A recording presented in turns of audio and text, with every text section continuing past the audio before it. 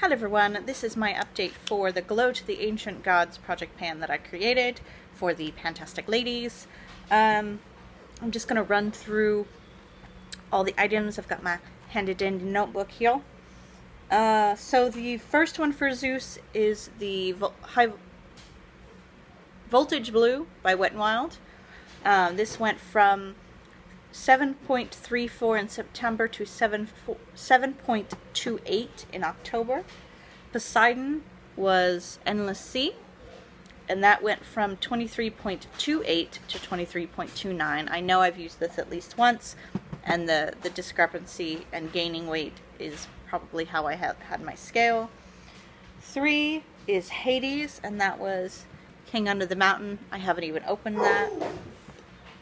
Uh, Four is Aphrodite, which is On Love Eros, and that has not changed. Uh, Ares, God of War and Bloodshed, which is Violence Solves Everything.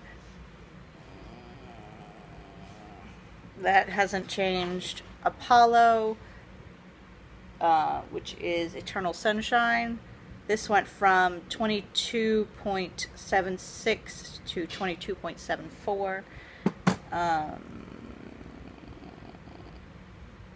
which seems strange because I don't think I've used it that much.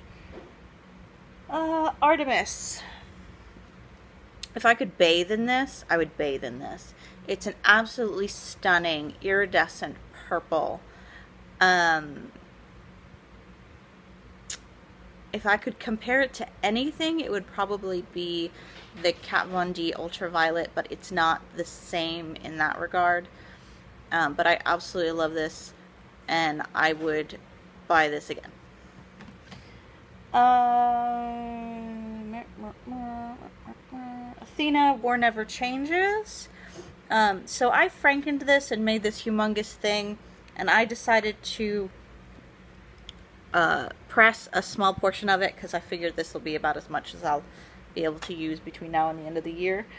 Uh, or, well, I have a whole year for this, but I wanted to use this much, and if I end up using all of that, I have a whole container if I really need more.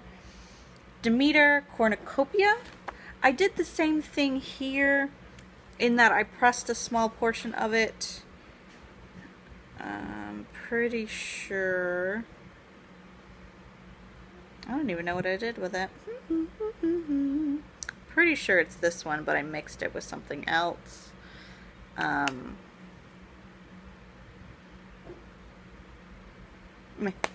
anyway. Um, oh, I know what I did with that. Hee Um, yes, I Frankenstein that, and that went in my Baby Pan That palette. That was the mixture there. Not that little one that I just showed. This one.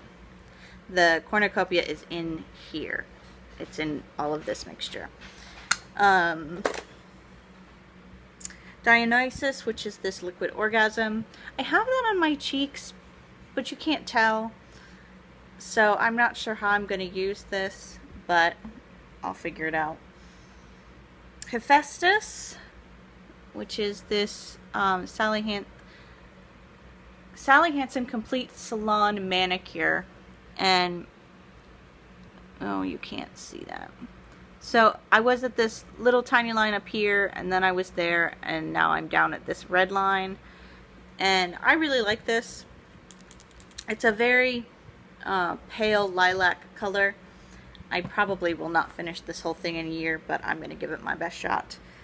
Um, Hera which is this Kat Von D in Mother.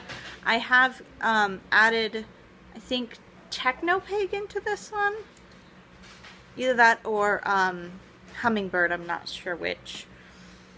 And I've got it on my lips today, but I've covered it in an orange lip balm, so it's a little bit different color.